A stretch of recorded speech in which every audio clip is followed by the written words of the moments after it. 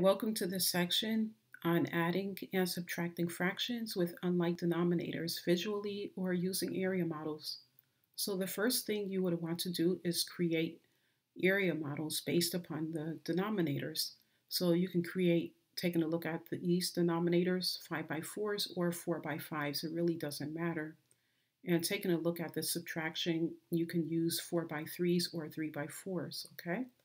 So let's go ahead and take a look at this first fraction, 3 out of 5, or 3 fifths. So this is telling us that we need to shade in 3 out of 5 sections. And we're going to do that vertically simply because we're, we have these 5 sections vertical, okay, going vertical. So we have one, two, three, four, five. So we're going to shade in 3 out of those 5 sections. Okay, and let's take a look at one quarter or one fourth. This time we're going to shade vertically, or I mean horizontally, because they're in four sections going horizontally. So we have one, two, three, four, right? So we're shading in one out of four horizontally.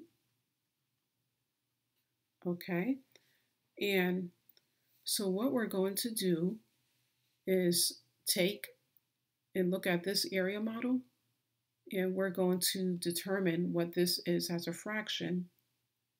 So this is actually 3, 6, 9, 12.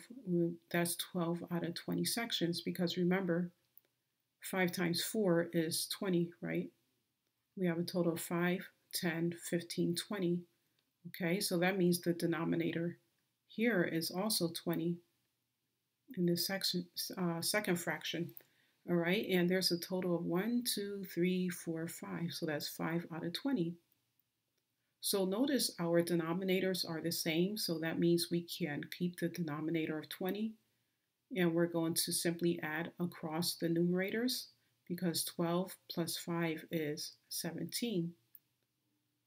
So now here we have a third area model. All we're going to do is bring these together right? So we have a total of 3, 6, 9, 12, right? So we'll bring that here, over here.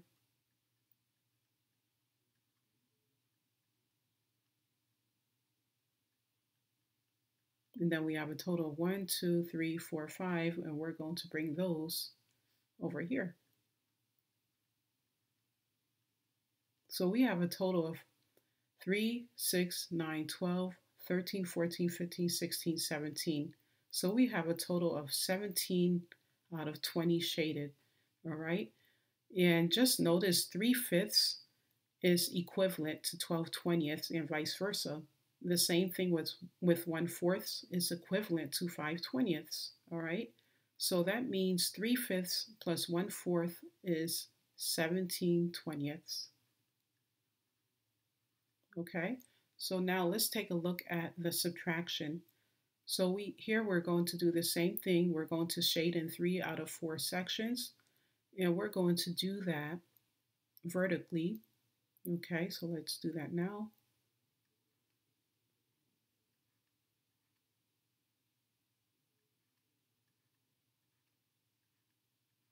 So that's three out of four.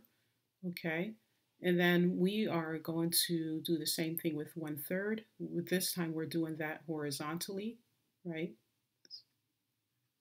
One out of three sections. Okay, so now the thing is that you need to subtract the smaller fraction from the larger fraction. And taking a look at these area models, you can see that one third is the smaller fraction, right? So what we're going to do is take a look here. We have a total of 3, 6, 9 out of 4, 8, 12 sections, right? So we have a total of 9 twelfths minus a total of 1, 2, 3, 4, 4 out of 4, 8, 12. So that's 4 twelfths. Okay, so now based on the area model though, we're going to take the smaller fraction and subtract subtract it from the larger fraction.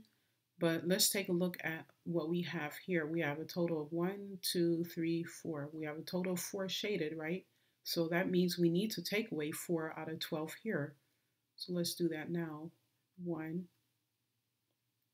two, three, four. So that means we're left with one, two, three, four, five. We're left with five out of 12, or five twelfths. And notice 9 minus 4 is 5, right? And we kept the denominator of 12. So that's how these fractions work visually We're using area models. I hope it was helpful.